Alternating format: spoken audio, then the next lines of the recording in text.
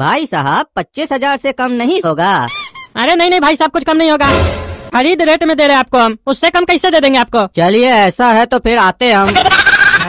अरे ये सही बात नहीं है टकला नेताजी। अरे क्या हुआ? क्या सही बात नहीं है?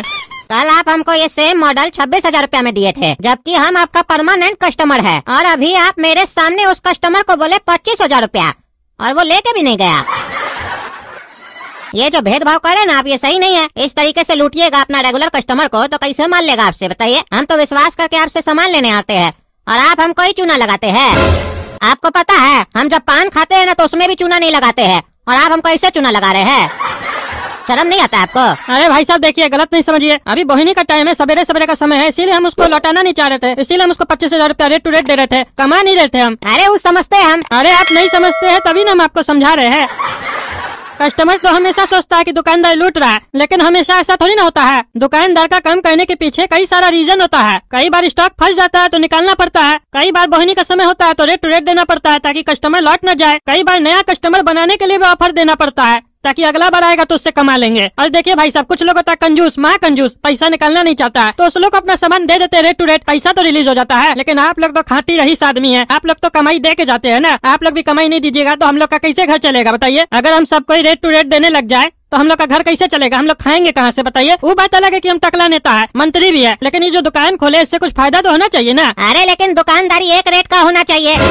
ये नहीं किसी को पच्चीस किसी को छब्बीस कमाल है आप तो। जो रेगुलर आता है उसको छब्बीस जो एक दिन आता है उसको पच्चीस। तो हम भी एक ही दिन आएँगे। हमको भी दे देना पच्चीस में। और लगता है अब हमको तो आपसे बार्गेनिंग करना पड़ेगा। हम तो विश्वास पे ले जाते थे। अरे यही सारा दिक्कत है दुकानदार के साथ। वो साला पागल लिया तो नहीं। हमारा रेगुलर कस्टमर के माइंड उल्टा सीधा बात डाल के चला गया पागल। अब साला कोई भी आए ना एक रेट में ही बेचेंगे हम किसी को कम नहीं करेंगे। सॉरी भाई साहब आइंदा से ऐसा नहीं होगा। अच्छा तो एक काम कीजिए हज़ार रूपया लौटा दीजिए तब हम आपको माफ़ करेंगे। अरे भाई साहब ऐसे थोड़ी ना होगा। एक तो सवेरे सवेरे का समय है इस समय पैसा देंगे तो पूरा दिन खराब जाएगा हमारा। एक तो पहला कस्टमर भी लौट गया हमारा। अरे तब हम आपको माफ़ नहीं करेंगे अगर पैसा नहीं दीजिएगा तो। अरे देखिए भाई साहब अब आप हमसे छब्बीस हज़ार रूपया में कल खरीद चुके हैं अब हम आपको कैसे पैसा लौटा सकते हैं? एक बार जो गल्ला में चला जाता है दोबारा थोड़ी ना निकलता है वहाँ से। कल को मान लीजिए हम सत्ताईस हज़ार में किसी को बेचते तो आप थोड़ी ना चल के हमारे पास आते हैं कि लीजिए हज़ार रूपया हमसे भी ले लीजिए। ये सब तो गलत बात है ना भैया? थोड़ा समझिए दुकानदार का परेशानी। अरे ठीक है टकला नेताजी आप अपना परेशानी अपने समझिए आइंदा से आपसे कुछ नहीं लेंगे हम जा रहे हैं। अरे उस साला पागल के चक्कर में हमारा रेगुलर कस्टमर भी भाग गया। अब क्या करें हम? ऐसा ऐसा आदमी सब पैदा हो गया कद्दूपुर में ना समझ में नहीं आता है। रेट टू रेट दे रहे उसके बाद भी उसको डिस्काउंट चाहिए इस साले को। अब हमारा दुकान में है ना उसका देह तोड़ देंगे हरामी का। भाई साहब बगल का दुकान से पता किए हैं चौबीस हज़ार में यही मॉडल मिल रहा है। दीजिएगा तो बोलिए।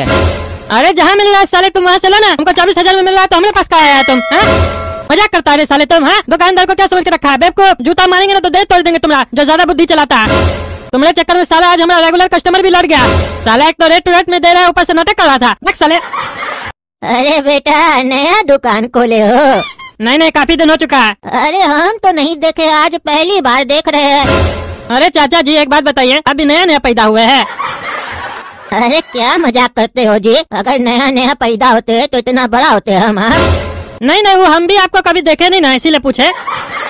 तो तुम मज़ाक कर रहे हो हमारा मज़ाक उड़ा रहे हो हम तुम्हारा दुकान के बारे में पूछ लिए तो हाँ? बहुत होशियार हो तुम। होशियार बनना पड़ता है चाचा। टकला नेता हम चीन नहीं रहे हमको मंत्री कद्दूपुर का। ओह, तुम ही हो टकला नेता तुमको हम वोट दिए थे पता है तुमको? हाँ दिए होंगे हमको कैसे पता चलेगा? काफ़ी लोग वोट देता है सबका नाम थोड़ी ना लिख के आता है उसमें। ऐसे धन्यवाद वोट देने के लिए। आगे भी हम ही को वोट दीजिएगा टकला पार्टी को जिताइएगा तभी ना तरक्की होगा कद्दूपुर का। हाँ वो तो दिख रहा है किसका तरक्की हो रहा है बढ़िया बढ़िया शोरूम खुल रहा है। बाकी हम तो झोपड़ा में रहते थे आज भी झोपड़ा ही में रहते हैं। वोट देने के बाद भी ऐसे दुकान बहुत बढ़िया खोले हो। अरे ये बुढ़ा बहुत बकवास कर रहा है। हमको ताना मार रहा है। ऐसे बोला जैसे लगता है हम कुछ किए नहीं है। लेकिन इसको भी बोलेंगे उल्टा सीधा तो फिर हो जाएगा झगड़ा। लेगा नहीं ये भी। हमारा दुकानदारी चौपट होगा। इसीलिए शांत रहेंगे अभी जो मांगेगा दे देंगे। हाँ चाचा ये बताइए चाहिए क्या आपको? हाँ वो तो बता रहे हैं लेकिन तुम्हारा डिस्प्ले में ना थोड़ा कमी है। उसको थोड़ा बढ़िया करो तभी ना नया नया कस्टमर अट्रैक्ट होगा दुकान की तरफ़। बढ़िया डिस्प्ले नहीं रखे हो तभी ना हमारा नज़र नहीं पड़ा इतना दिन से। अरे तो आज कैसे नज़र पड़ गया आपका? बढ़िया डिस्प्ले नहीं था तो।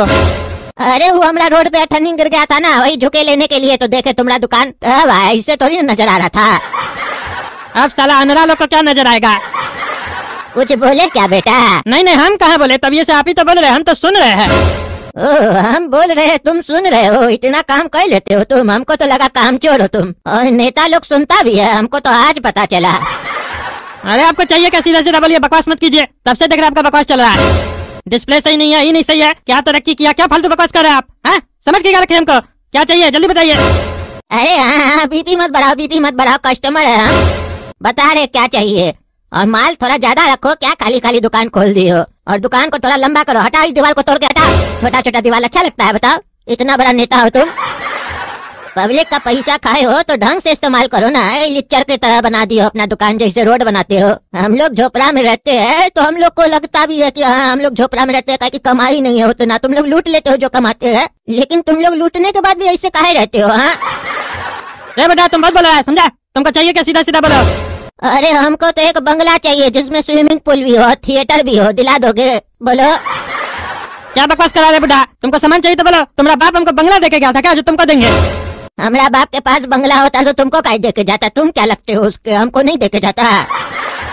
तुमको साले कुछ चाहिए तो बताओ नहीं तो मार के भगा देंगे तुमको। अच्छा अच्छा बता रहे बता रहे घड़ी है तुम्हारे पास? अरे साला पागल घड़ी का दुकान खोले है तो घड़ी होगा ना? पूछ क्या रहे हो? हाँ तो पागल घड़ी भाओगे तब न लेंगे। शोकेस में सजा के रखोगे तो कैसे लेंगे? हाँ दिखा रहे कितना का चाहिए ये बताओ। तुम्हारे पास सबसे ज़्यादा महँगा वाला घड़ी कौन सा है ये बताओ। पचास हज़ार का है चाहिए लेगा औकात है झोपड़ा में रहने वाला बुढ़ा हाँ दिखाओ कौन सा घड़ी है जो पचास हज़ार रूपए का है। हाँ ये देखो। ओ ये पचास हज़ार का घड़ी है। हाँ पचास हज़ार का घड़ी है ये। लेना है। नहीं पहले ये बताओ टाइम क्या हो रहा है? सही बता रहा है ये घड़ी की नहीं? अरे ग्यारह बज रहा है सुबह का। दिखता नहीं है तुमको? ओह ग्यारह बज रहा है। हम दो बजे से पहले कुछ नहीं ले सकते हमको मना है। एक काम करो घड़ी रख लो साइड में करके दो बजे आएँगे लेने के लिए। और देख लेना कुछ डिस्काउंट वगैरह कर देना। अरे फिक्स प्राइस है। और लेना है तो अभी लो ना। दो बजे के बाद क्यों आगे अरे हमको मना है हम दो बजे से पहले कुछ नहीं लेते हैं। अरे जब नहीं लेते हो तो आए कहते दुकान पे लेने के लिए? हम तो पूछने आए थे कि महँगा घड़ी रखते हो कि नहीं रखते हो। ठीक है साइड में रखेंगे लेगा ना? ऐसा नहीं जाने के बाद आना ही नहीं। अरे आएँगे आएँगे तुम तो इससे करो जैसे लगता है हम भिखमंगा है। अरे भिखमंगा नहीं होता तो अठन्नी गिरने पे उठाता तुम। अरे, तुम्हारे तरह हम रईस थोड़ी ना और बुड़बक थोड़ी ना कि पैसा गिर जाए, उसका अपमान करेंगे। पैसा कितना भी हो, पैसा उठा लेना चाहिए गिरेगा तो। तुम्हारा पैसा थोड़ी ना था, हमारा पैसा था। आज जो तुम्हारा मुँह से बकर बकर चल रहा है ना, पैसा है तुम्हारा जेब में और तुम्हारा तिजोरी में, तभी ना चल रहा है। नहीं तो तुम्हारा औकात है कुछ। तुम्हारा पैसा तुमसे ले लिया जाए ना तो कुत्ता भी तुमसे ज़्यादा होशियार निकलेगा, समझे?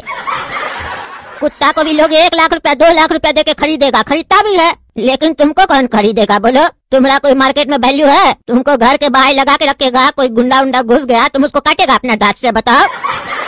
अरे साला बुढ़ा तुम निकलो हमारा दुकान से निकलो। बकवास कर रहा है। हम कुत्ता है जो दांत से काटेंगे किसी का। अरे वही तो बोल रहे तुम कुत्ता भी नहीं है। तुम साले आया कह रहे हमारा दुकान पे हैं? सामान लेने बकवास करने आया?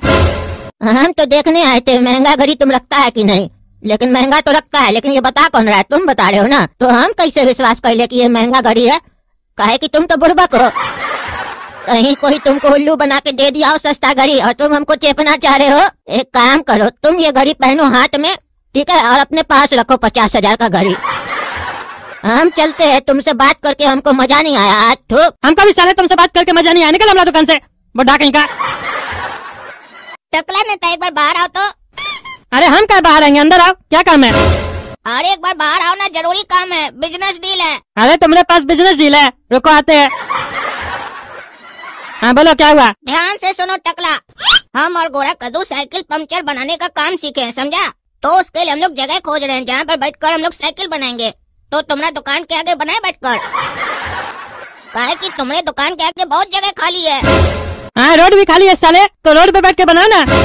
दुकान के आगे बनाए। पूछता कैसे है? हम इतना बढ़िया शोरूम खोले हैं तुम हमारा दुकान के आगे बैठ कर पंचर बनाएगा है? अच्छा टकला ये डील तुमको अच्छा नहीं लगा? तो एक काम करना तुम बैठ कर पंचर बनाना। हम और गोरा कद्दू बैठकर दुकान चलाएँगे तुम्हारा। अरे मज़ाक नहीं करो समझे? काम का समय फालतू बात करता है? अच्छा टकला एक सवाल का जवाब दे दो तुम हमको। क्या है बोलो। ये बताओ ये जो रोड है ये सीधी है या टेढ़ी है? काहे कि हमको थोड़ी तिरछी लग रही है रोड। अरे अब हम तुमसे ये बात करें हैं? ये ज़रूरी बात है। से पागल। बाबा दे दो, बाबा दे दो, बाबा दे दो, कुछ दे दो बाबा। अरे, ये दुकान खोलो नहीं कस्टमर आता नहीं है। भिखमंगा सब आ जाता है। लो भाई, लो।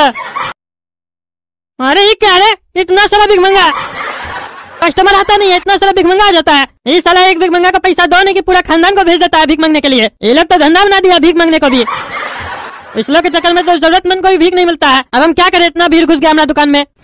जी निकलो ऐसे निकला। नहीं दे दे दे दो दे अरे मारेंगे जूता भाग साले। पता नहीं क्या बकबक कर रहा है। दे दे दे दो दे दो। हमको तो लगता है शटर गिराना पड़ेगा दुकान का ताकि सवेरे से कस्टमर सब भी अल्टर आ रहा है और ये बिग मंगा सभी पता नहीं कैसे आ गया अब हम दुकान में बैठेंगे ना इससे ज़्यादा तो पागले हो जाएँगे। तो दोस्तों, हम जा रहे हैं दुकान बंद करके, ठीक है? ताकि देख रहे ना कैसे हमको लोग सब डिस्टर्ब करता है। इतना सारा बिग मंगा आ गया क्या पैसा देंगे? बोहनी तो हुआ नहीं है सवेरे से। आप लोग लाइक कर दीजिए तो कुछ दे देंगे इस लोग को, ठीक है? और चैनल सब्सक्राइब कर दीजिए, धन्यवाद।